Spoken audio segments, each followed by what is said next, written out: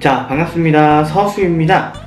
자, 오늘의 메뉴는 돈마 호크입니다. 자, 시청하시기 전에 좋아요와 구독, 알람 설정 한 번씩 부탁드립니다.